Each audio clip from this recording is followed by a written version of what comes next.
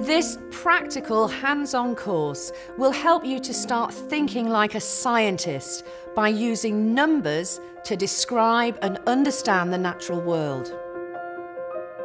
Your journey begins by examining some of the language used by scientists to communicate effectively with each other. The basic form of scientific notation is a number, a, multiplied by 10 to the power of another number, b. b tells you how many times 10 should be multiplied by itself.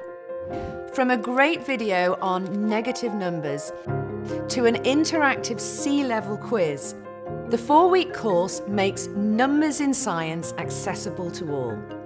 Answering questions such as, why do scientists need numbers?